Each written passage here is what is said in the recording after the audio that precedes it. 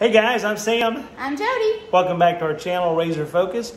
We're so glad that you're back with us. Uh, we're we've been out for a couple of weeks, so we've not been able to make some content, but we're getting excited about a trip that we have planned to the real McCoy's uh, cabin area for the Hatfield McCoy. So we're getting ready for that. So today we're going to put on a uh, something we ordered. So let's start getting ready for that. Some of you have suggested something, and that's what we're going to do. Okay, let's get this RZR where we want it. Now, I put this thing on some uh, car dollies. These car dollies are from Harbor Freight. They're awesome. We really, really enjoy them. Especially in a small garage, you can get it exactly where you want it. So we're going to kind of get that position. And then we're going to put our quick jacks under it because we need to raise it all the way up so we can work on that front suspension area. Mm.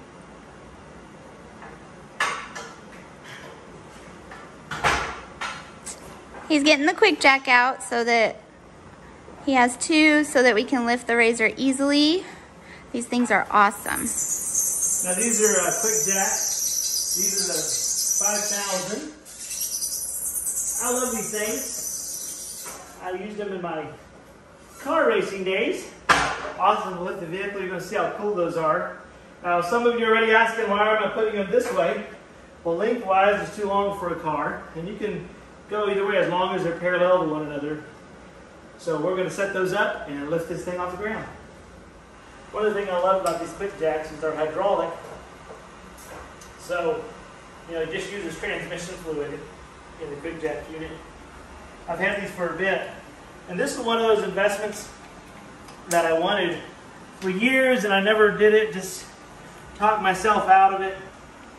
And once I did it, I thought, why did I not do that before? They're the leak-proof uh, fittings. Connect your hose to it. And once the it's up on quick jacks with the safety bars, it can stay there indefinitely. And all you do is connect it to the power unit. And we've had this for several years. I need to kind of do a little bit of maintenance on it, clean it up a little bit.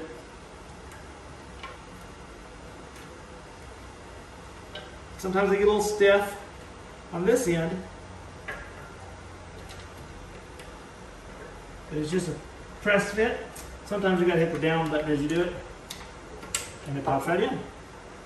This thing has saved you so many times working on brakes or changing tires to help church members out. Yes, we've kind of done like a little car care ministry for church members, uh, for those that need a little extra help. And these have been amazing, whether it be oil changes, little brake jobs, little easy stuff.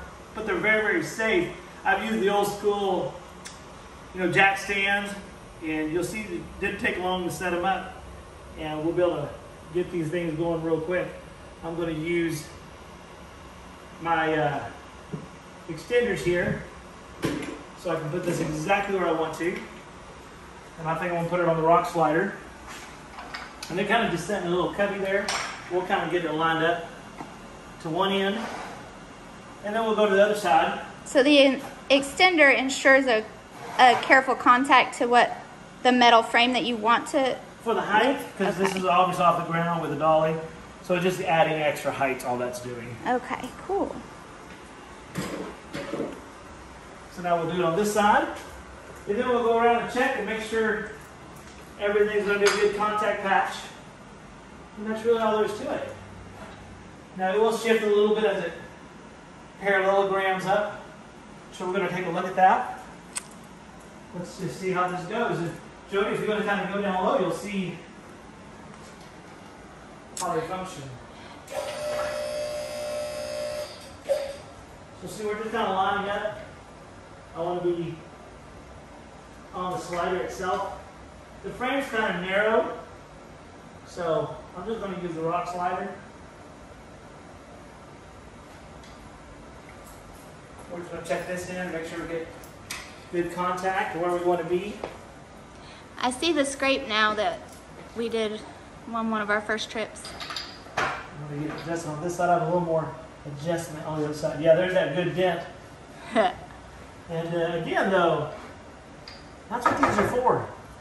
We skidded right across that, and hey, I'd rather do something that's made for it versus tearing up all the plastics. Yeah. The plastics are more expensive than replacing the rock guards. So let's take a look here. You ready? Yep.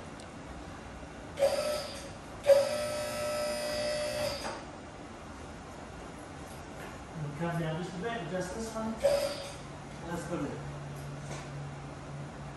Other side. Again, I'm just being really nitpicky. I'll make sure I'm right with good contact. That looks good.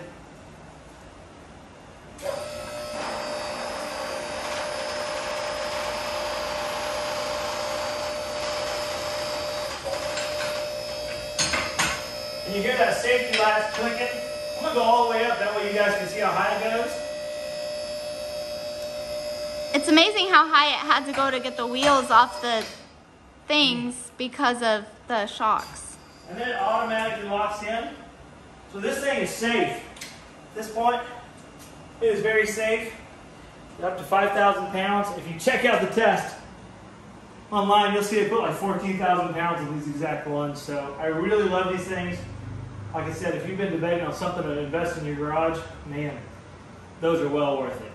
So 'Cause let's the- get to work on the front here, Jody. Because they'll lift the RZR all the way up to a truck. They'll lift my truck up to 5,000 pounds, no problem. I have a Chevy Colorado. Lifts it, no problem. It's the diesel version. Picks it up, no issue. We've done a Suburban with it before. I was probably pushing the limits, but done an Expedition. They work great. So let's uh, get to what we're doing next. Hey guys, we're here with another package from Super ATV. Again, we're not endorsed by anyone or sponsored, but we sure do like their products. And we wanted to get something that was recommended by some of our viewers because as we were rock crawling and traveling up there, we realized there were some potential breakage points, and so we wanted to get a frame stiffener. So we bought this. Uh, probably need a knife to cut it, babe. Thank you.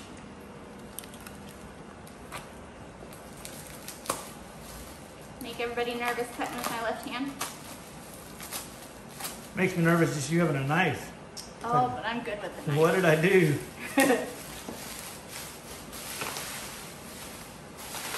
Oh, this is nice. That is really heavy duty, heavy gauge steel. Is it steel? Yep, all steel, powder coated looks like. Looks like it. and that's a frame stiffener that will go uh, in this area. Now again, I, I thank you for the recommendations. We've done a little bit of rock crawling and some of you all have mentioned these tabs and these tabs, I'm at the front here, these tabs can easily get broken off if you hit just right with the rock and we don't want to do that. So we're going to put a frame stiffener up front. It's really the only area that is not like super protected. If you look at it, everything else has a skid plate but that area does not. So uh, we already uh, hit that a couple of times down the trail. Ours doesn't have the clearance that others do, so we're just going to put some reinforcement on there just to be safe. Again, we're ready, getting ready for a trip to Virginia, and uh, we want to be self-sufficient. If you look here, we installed our winch. If you remember, we have our half windshield. We have our uh, storage in the back. We've got a jack we'll be putting on soon And, a spare tire. and a spare tire finally coming in from what I understand. So we're excited about getting all this stuff on. So let's put it on. Okay, guys. So uh, here we are under the RZR, and again, why I love the quick jacks. You can see all the room there is to work here. Now we're not going to take the tires off um, unless I absolutely have to. But these are the bolts you want to take off. It's one long bolt. I always like to start with the hardest one first, which will be the back. you can see I'm going to ask Joe to get out of the way for a second.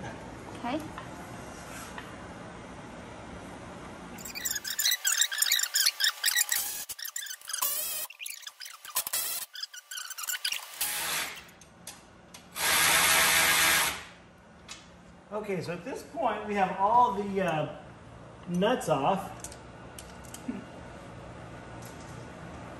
So now we want to. And the differential drain is here, and so we just want to keep all this part safe. And you can see some uh, scratch marks. Hand me that camera there. You can see some gouge marks here. And so this part is just a piece of metal. There's uh, skid plates all the way back, but this part really is not. You know, it is, uh, looks like, you know, 3 16 inch steel. This is all part of the frame, so we don't want to damage that at all. So replacing that would not be fun. No. Okay, so again, we're starting at the back, the hard one. And uh, See if we can take out those bolts.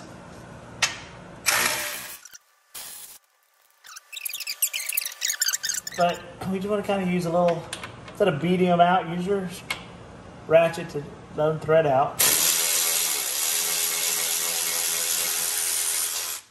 Now they're not threaded, but they're just under friction, so that thread kind of helps. Mm. You see the tire's not coming off or anything, so well, now I just pulled out. I like to be cautious. Yep, we should always be cautious. And one thing again we always say is be safe.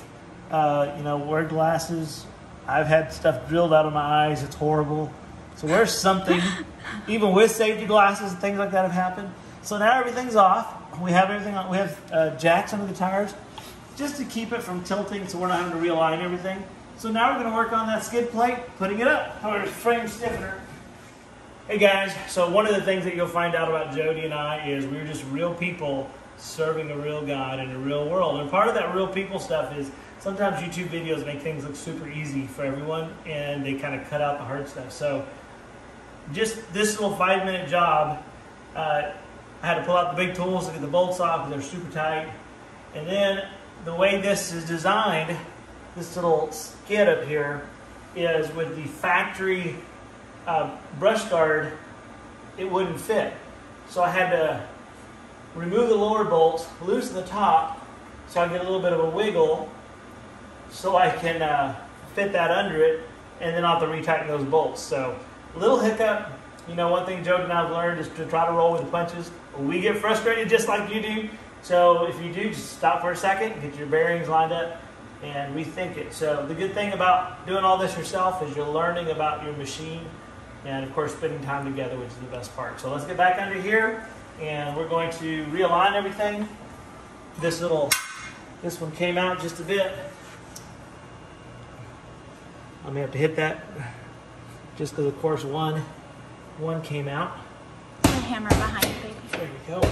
I think I'll be able to do it there. Good. Okay, so let's try that again, Jody. And one thing also, uh, the new ones did not come with washers, so I used the factory washers. So, and also it's a different size. So let's see what size that one is. Okay, and uh, so it comes with new bolts, new hardware. We moved the washer over from the factory one. Now, the factory was 15 all the way around. This bolt is 13, and the nut is 15. So, don't know why they're not the same, but that's okay. So let's get into putting this thing in. And you'll see how, again, beneficial it is. And again, we had to move out the front bumper. And it just kind of pops in. You still have access to all your important stuff, which is very important. I'm sorry, my fat head rolling around there. It's fine. I married that fat head. I love it. so let's see if I can get this lined up using my knee. There we go. And that just pops right in just like that. that yeah, you're good. I'm gonna do it on this side as well. Okay. Just to kind of keep things lined up. Oop. Oh, Sorry, I can't. come out? No, I just gotta get my eyes to see. Oh yeah, eye doctor. Yeah, so that's the bad news this week. I had to go to the eye doctor, and it looks like I'm getting bifocals. So I know. Uh, yay! Yay! Something people don't say, but hey, it's either that or wear readers all the time, so. and again, so what we're, we're doing all this uh, from some of your advice, guys. We've not, uh, this is all kind of new to us. We're learning. We're excited for the things that you guys have taught us. And uh, I'm just putting these in to keep somewhat aligned, and then we'll tighten them on. Then we'll get them on there. Okay, so let's see if I can use my handy dandy ratchet to get those started. See if they line up. Let's hope so. Well, I'm gonna have to wiggle around back here so I can see where it's at. Sorry about that light in your face. It's good. There we go.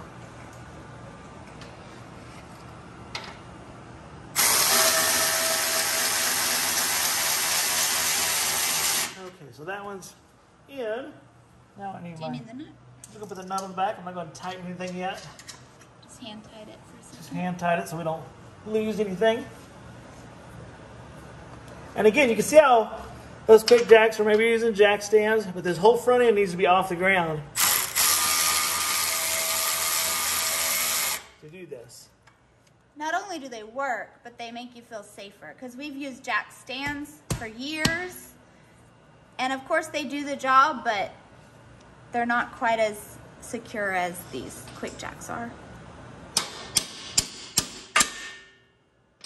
I'm so close on that one. Let's see here. I don't think it's aligned because it's just spinning. It's not.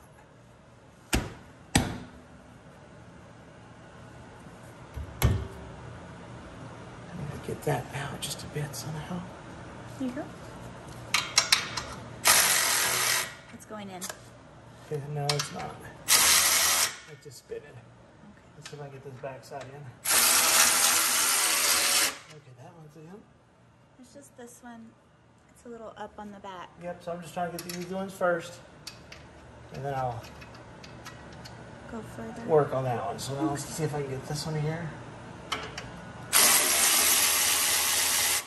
one of them just going to be off kilter. And let's see if I can get a line under there.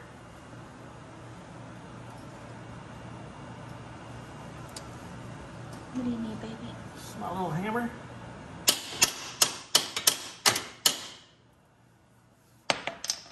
It's hard to You're see. on a nut.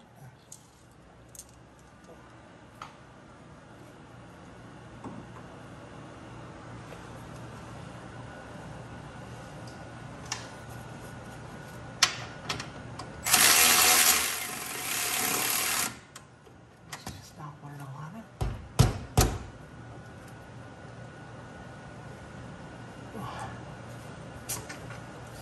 Bear with me here. And again, see, not everything's easy. Now, again, tools are an investment. You know, Miss Jody and I, we've always learned that, hey, buy the good tools, you'll learn what to do. Even if you make a few mistakes along the way, you'll uh, know what to do. And especially if you're out in the field and you have to do something, you'll at least know about it. And good tools are an investment. I've not had Snap-on until recently, and I really, really like them. But again, you know what? I have Harbor Freight too, and I have some Harbor Freight and Kobalt, and so I'm not a, a Snap-on snob per se, but I do like Snap-on.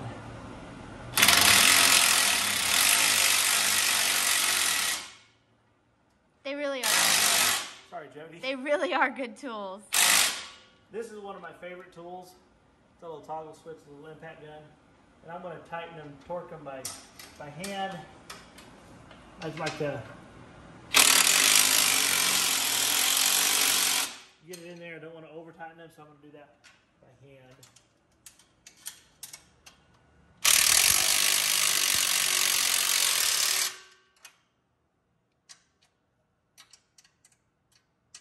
It's the same on that side. Same on the back, yep. It's just hard to see in the back, so I'm just showing the front really. One thing I like about the Snap-on tools too is uh, this toggle is speed sensitive. So as you slowly, you know, so that's kind of neat. So I think I'm gonna do this next part by hand, but I just want to double check everything to make sure I got it seated at least. Like this back one is not seated.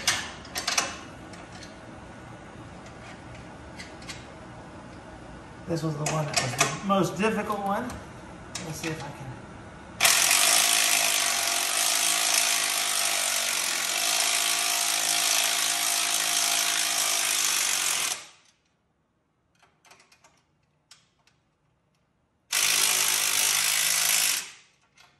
If you look, you can see that I have a Harbor Freight Impact uh, universal joint. So again, I'm not a a good tool a good tool.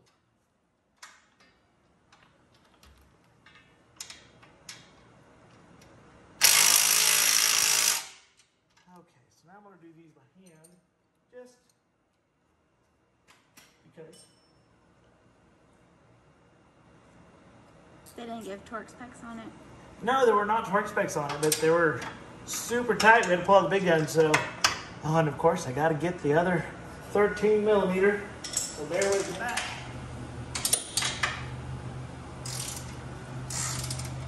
And again, these are super tight. So I'm to go really hand tight. There were no torque specs on them. Now these are the nylon lock washers, lock nuts, excuse me. There we go. So it should hold just fine. Oh, it should hold just fine, but again, they shouldn't back out.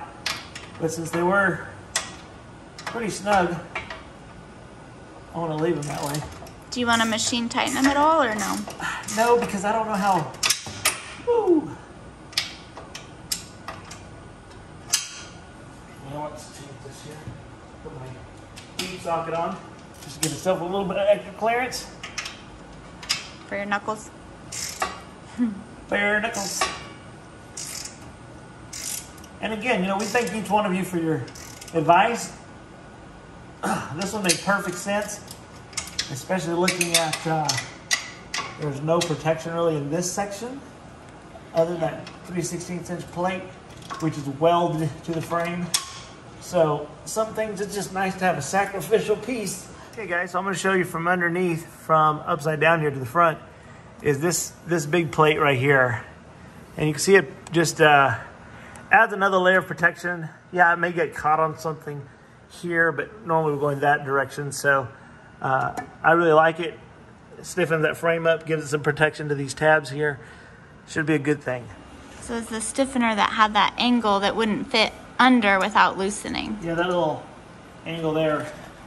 You know, again, that, this is a factory bumper, but you know, it's hard to keep up with all the aftermarket stuff.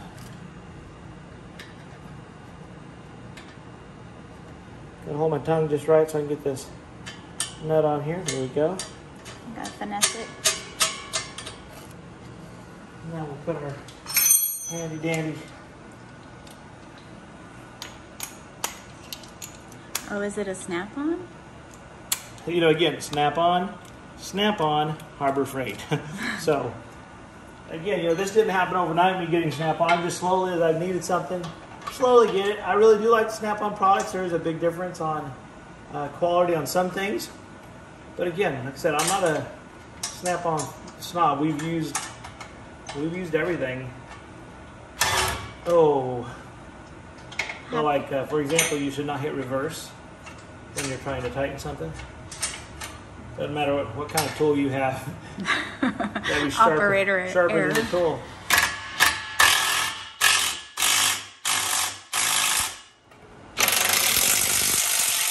Hands just don't work the way they used to. All right, and you know what I noticed? This little cable's dangling. So I'm gonna put a zip tie on there Okay. while we're working on that. Now this didn't hinder the use of this. Nope, that's the winch. And we're going to go ahead and put on our fab connector here in a minute.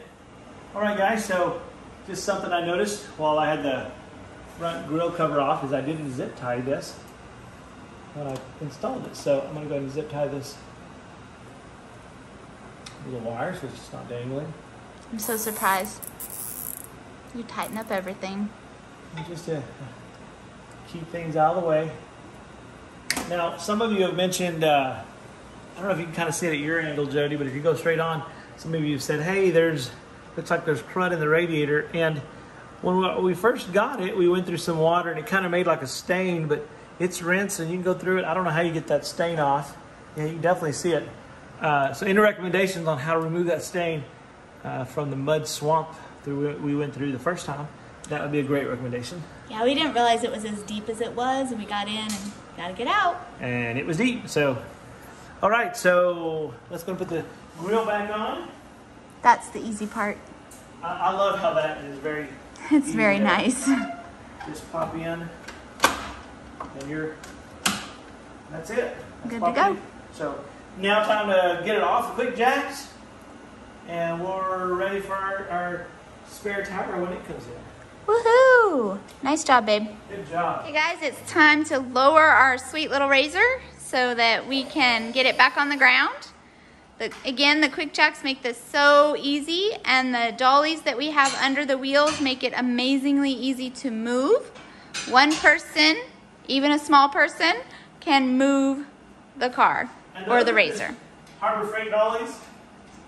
Worth uh, every penny of those as well. Yeah. We may have to position the dollies a little different. Yeah, I couldn't remember exactly where they were, honey.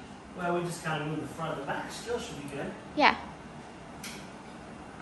It's just because it tilts a little as it goes down.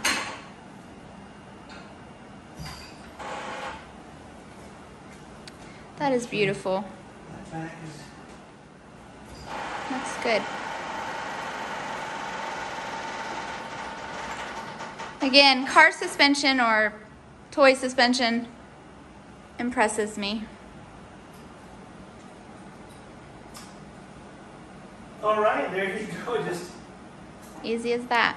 easy as that. Now I like to leave it down for a little bit just to get everything circulated so the hoses come off easy. Get some of the pressure relieved, does it? Yeah, it? just pressure relief. And that's it.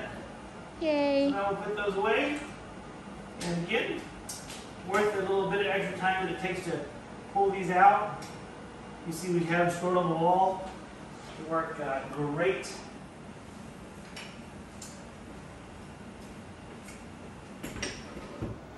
Okay guys, let me show you how easy this is on these dollies. Jody and I are going to push it back where we want it.